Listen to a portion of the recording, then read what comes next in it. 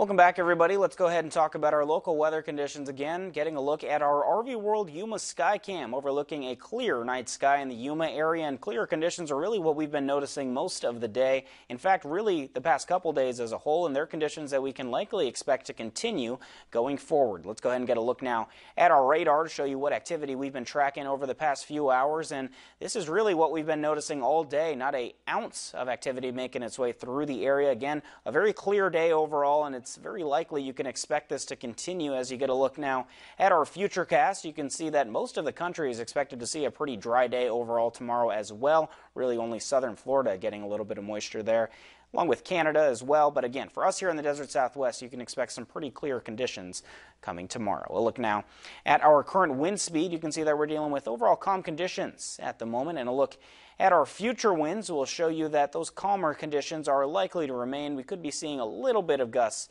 here and there, but overall you can expect those winds to remain around 10 miles per hour or less, with the exception of Ocotillo, which is typically a little bit breezier than the rest of the area. Let's go ahead and get a look now at our air quality index presented to us by the Imperial County Air Pollution Control District. This is always a very welcome sight to see most of the cities in the valley at good air quality. You can see it there, green across the board from Brawley, Calexico, El Centro, Niland, and Westmorland. However, our apologies for Mexicali as we aren't receiving any reading for that area at the moment. A look now at our current temperatures. We begin with Ocotillo sitting at 73 degrees, El Centro at 73 degrees as well, Imperial also at, excuse me, not also, Imperial at 71, Holtville at 72. Overall, those temperatures much more comfortable around this time of day, excuse me, this time of night. Yuma sitting at 77, the foothills at 80. Let's go ahead and get a look now at today's viewer weather photo. This coming to us from Joe Forrestal. A great shot of the Yuma night sky. And how about the moon lit up there in the background? You've got some plants covering the photo as well. You've also got a little bit of backyard action. Joe, looks like you got a gorgeous patio there. Definitely something I'm envious of. But overall, Joe, thank you so much for getting this photo sent in. It's definitely a good one.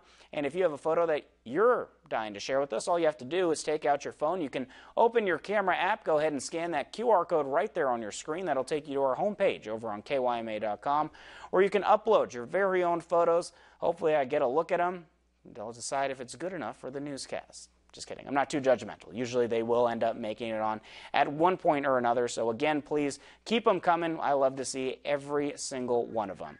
If you have a photo that you'd like to share with us, again, please sure to scan that code. All right, let's go ahead and get a look now at our seven-day forecast. Getting a look at our next week ahead, you can see that those temperatures are getting a little bit more comfortable. You can also expect some breezy conditions to make their way through the area this weekend. Winds of up to 20 miles per hour, so that is definitely something that you'll want to plan for if you're getting some of those weekend events set up, whatever you want to do. Again, be sure you're factoring in some of those breezy conditions. But overall, how about some of these temperatures? You can see that we'll be dealing with that lower 90 degree range over about the next three days or so. But going from Saturday to Sunday, we're going to have a pretty big drop off in temperatures. You can see that we'll actually be dipping 11 degrees. At least that's what we have forecasted right now.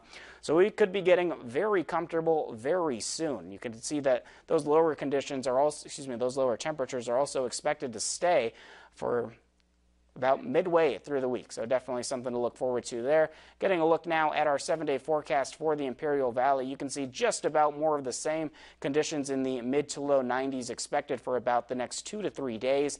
And then a major temperature drop-off coming on Sunday. So hopefully as we begin to go deeper into the fall season, these temperatures begin to get a bit more comfortable as well. You can also notice those Evening lows starting to get pretty chilly as they stay in that higher 50 degree range, so you may have to start consider bringing a jacket whenever you're heading out during the evenings.